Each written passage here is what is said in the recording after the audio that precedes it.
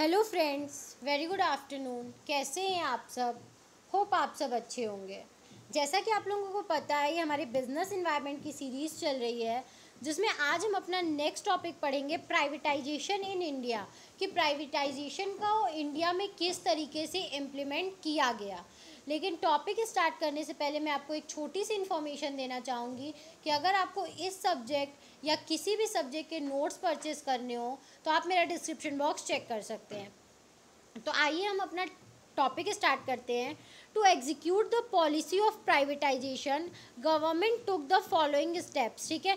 Privatisation की policy को अपनाने के लिए एग्जीक्यूट करने के लिए गवर्नमेंट ने क्या लिए? कुछ स्टेप्स लिए। वो स्टेप्स क्या थे?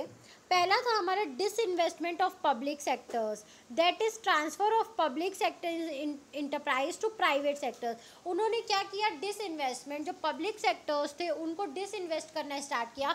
डिसइन्वेस्टमेंट का मतलब यहाँ पे जो पब्लिक सेक्टर्स थे, उनको उन्होंने प्राइवेट सेक्टर्स में ट्रांसफ़र करना शुरू कर दिया. कि जैसे कि जो भी पब्लिक अथॉरिटी वाली चीज़ें थी, उनको क्या किया? प्राइवेट सेक्टर्स के हाथ में देना स्टार्ट कर दिया कि अब आप इसको रेगुलेट करिए अपने अकॉर्डिंग सेकेंड वन है हमारा।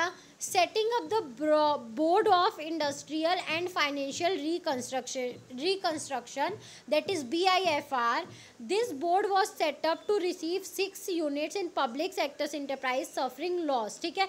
एक बोर्ड ऑफ़ क्या किया गया? इंडस्ट्रियल एंड फाइनेंशियल रिकंस्ट्रक्शन बनाया गया।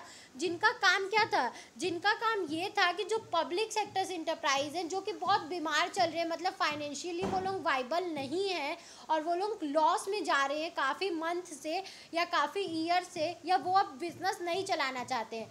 तो ऐसी यूनिट्स को देखना और क्या करना, उनके लिए, उनको प्राइवेट सेक्टर्स में ट्रांसफ़र करना या उनके लिए कुछ मेजर्स उठाना। थर्ड वर्ड है हमारा।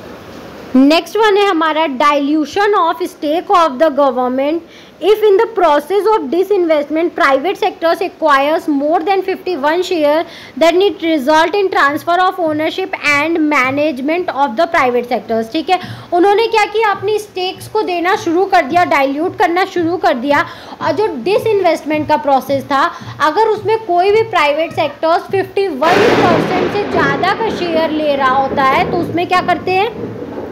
तो उस केस में ओनरशिप और मैनेजमेंट दोनों ही प्राइवेट सेक्टर्स को ट्रांसफ़र कर दी जा रही थी, ठीक है?